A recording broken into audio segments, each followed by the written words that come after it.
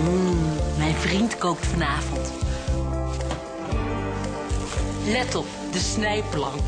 Schat, waar ligt de snijplank? De koekenpan. Schat, waar staat de koekenpan? De aardappels.